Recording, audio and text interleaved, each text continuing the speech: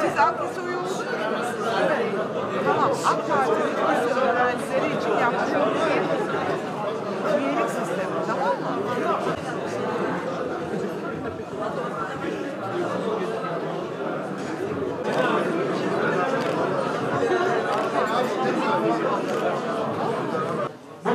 başkanları, ilçe başkanları, belediye başkanları burada yarının bütün ünvanını hak etmiş gençler de burada.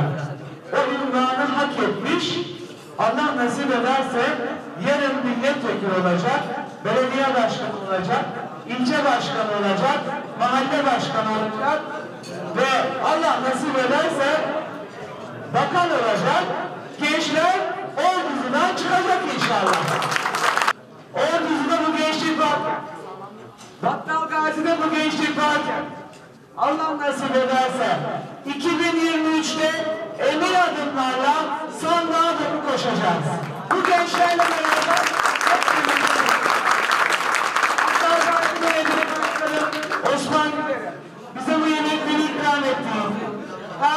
Bizi ağırladı. Ordu'ya hizmet getirdiği için canı gönülden Ben de teşekkür ediyorum. beraberce yürüyeceğiz. Birlikte yürüyeceğiz. Ve ben diyorum ki mahallemizin, mahallemizin mi? Mahallemizin mi? Ordusu bizim mi? Gençlik bizim mi? Hazır mıyız? Durmak yok. Durmak yok.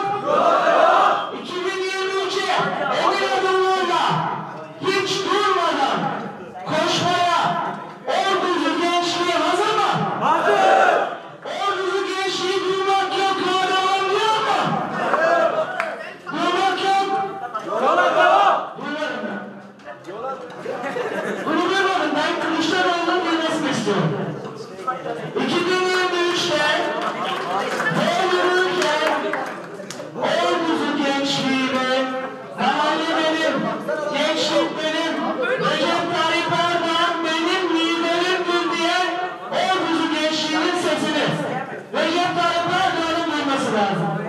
Ve